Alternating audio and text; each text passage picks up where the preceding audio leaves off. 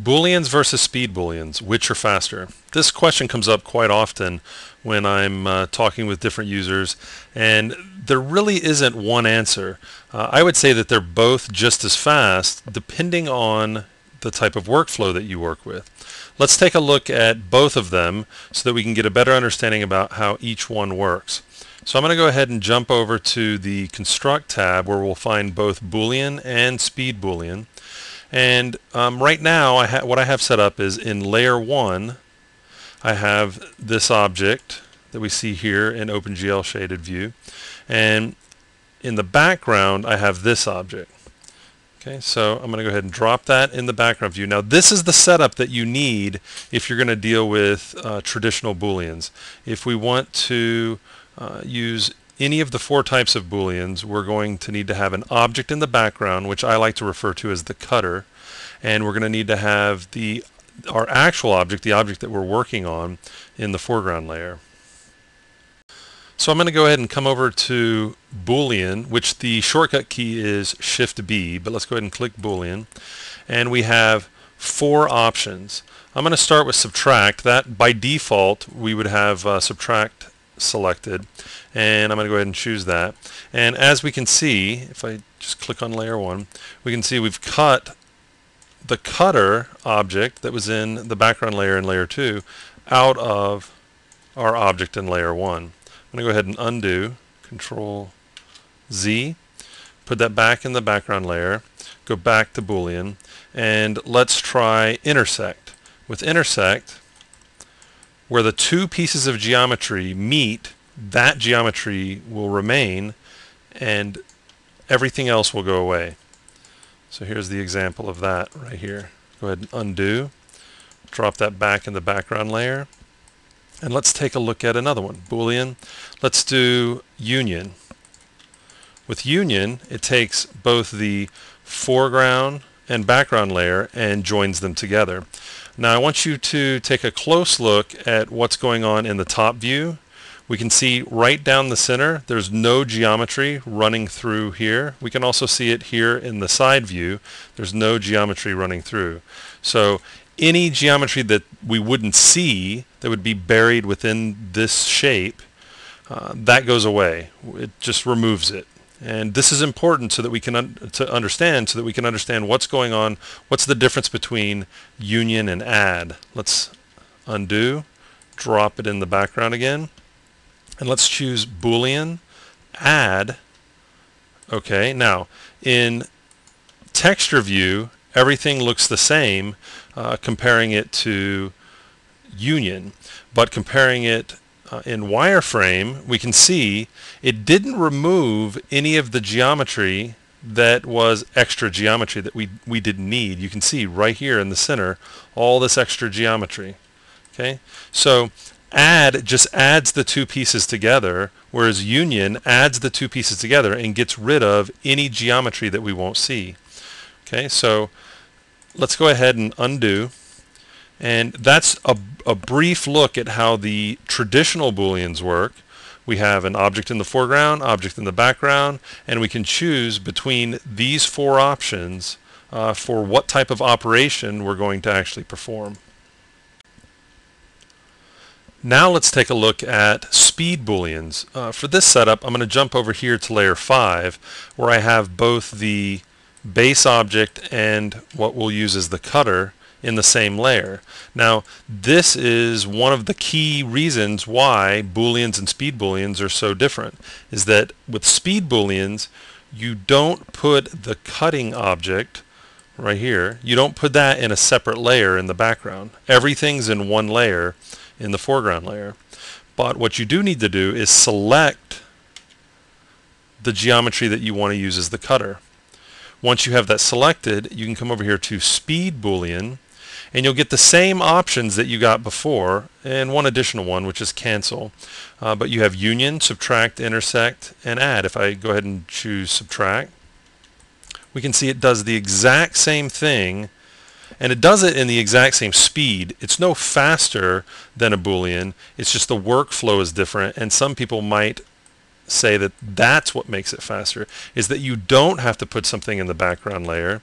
You you just have to put it in the foreground layer and select it, which is, to me, is really not any faster of an operation unless what you're considering as faster is that with the Boolean operation, the cutter still remains in, in the back where it was in the background layer. Well, it's still there. You would have to delete that if you didn't want that geometry. Whereas with a speed Boolean, you would have to um, you don't have to delete it except you lose your cutter. So if you wanted to use that exact same shape again to um, cut another hole, you'd have to recreate it. So that could go either way. That could take longer if you have to recreate your cutter because you lose it, um, or it could take longer if you want to um, to delete the cutter in the background layer from a regular boolean. For me, I prefer to keep a copy of my cutter so I can always go back and reuse it or um, use it for you know if I want to use it for something else or if I want to see what went wrong what went right or what went wrong whenever I was performing the operation. I'm going to go ahead and undo. Okay, I'm going to keep that selected. One thing I want to point out is that if we go over to Speed Boolean, we don't actually have to click the button. Once this panel is up, we can use the shortcut keys. We have U for union, S for subtract, I for intersect, and A for add, and then the escape key for cancel. This allows us not to have to go over and click on the button to perform the operation. So if I wanted to use subtract, I could hit S, and it subtracts. One less step of going over and clicking the button. I also have the ability, I'm going to go ahead and undo, come back here. I also have the ability to bypass that panel uh, by clicking on one of these buttons. We have SP bool add, SP bool int, SP bool sub, SP bool union. That's basically speed boolean add, speed boolean intersect, speed boolean subtract, and speed boolean union. So you don't even have to open up the panel. I could just click subtract. Okay, and then that could be faster than using even the, the base speed boolean. If you want, you can set up custom shortcut keys for these and you never even have to go over and click on the button. So there's a lot of different ways of working with speed booleans versus working with booleans. Again, I would say that whether one is faster than the other, the actual calculation time, uh, there is no difference. Uh, but it's the workflow that could make a difference in whether one is faster than the other.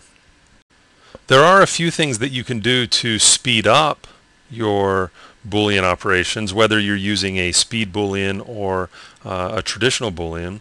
And uh, let's talk about some of those. I'm going to go ahead and deselect. And let's jump over to layer 1 and put layer 2 in the background. Now whether you're using traditional booleans or speed booleans, if you select the areas that are the polygons that are going to be affected, it doesn't have to use the geometry that's not going to be affected in the calculation. So you can speed up the, um, the operation by doing that. If you're going to be dealing with n-gon, so say the top here, if you have an n-gon, in, in this case there's 24 points, there's not that many points, but an n-gon being uh, a, a, polygon that has more than, than uh, four points, so five points or more. Uh, if you have an n-gon, say, that was created from a spline. So say we've got an n-gon like this, and we freeze it to create uh, a polygon. Well, this has got 219 points. And we're looking at one big flat poly. Now at render time, it's got to calculate triangles.